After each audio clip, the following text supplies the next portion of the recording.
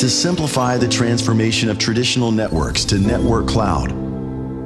DriveNets created DNOR. DriveNets Network Orchestrator. DNOR brings the efficiency of cloud operations to high-scale networks, breaking the traditional single-vendor monolithic chassis model.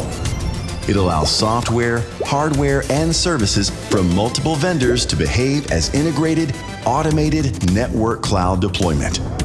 DNOR ensures automated lifecycle management and network scaling so that running a network cloud cluster is as simple as operating a monolithic chassis, regardless of its size or type.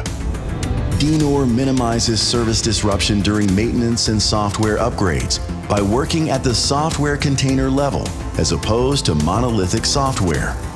DNOR provides a holistic view of the entire network and deeper insights across all levels, from hardware components through firmware, the network operating system, and to service containers.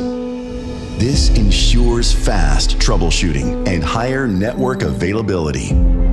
DNOR enables greater innovation and much faster service deployment through its service catalog.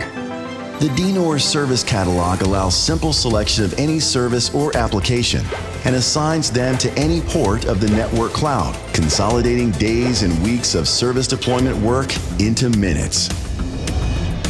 DNOR transforms the traditional network to a fully orchestrated cloud-native network, enabling any service, anytime, anywhere, at any scale.